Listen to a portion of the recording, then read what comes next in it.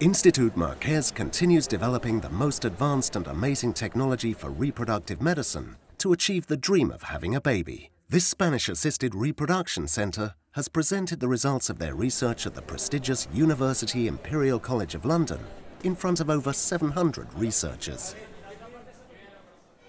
Pioneer in studying the effects of music at the beginning of life, Institut Marquès has proven that fetuses hear from week 16 of pregnancy but only if outside sounds come directly from their mother's vagina. For this purpose, the scientific team has created the intravaginal speaker, BabyPod, already used by thousands of women, as Dr. Marisa López Teijón, CEO of the center, explained when she received the Ig Nobel Prize of Harvard University for this research. We have discovered how fetal hearing works.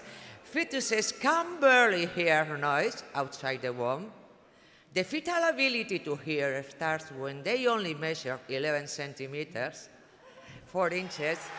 The myth of talking to your belly is over. Music is always present at the laboratories in Institut Marquès, even with live concerts. Thanks to this, the success rates in IVF treatments have increased by 5%, Music micro vibrations inside the incubators stir the culture medium where embryos develop, achieving a more homogeneous distribution of the nutrients and scattering impurities. Mobile phones have turned into another technological ally in order to improve the results in assisted reproduction. The app Embryomobile, developed by Institut Marquès, allows parents a real-time follow-up of their embryos while they're in the incubator from any location. It is a commitment to transparency that furthermore reduces considerably the stress of the mother before the embryo transfer, favoring the implantation to achieve pregnancy. Currently, vitrification is a key innovation field in reproductive medicine. Institut Marquès has patented its own technique so that the patient can cryopreserve his sperm anywhere in the world and send it to the clinic without having to travel. Finally, their researchers have presented at the Imperial College the results of a study that links semen quality with erotic visual stimulation through virtual reality.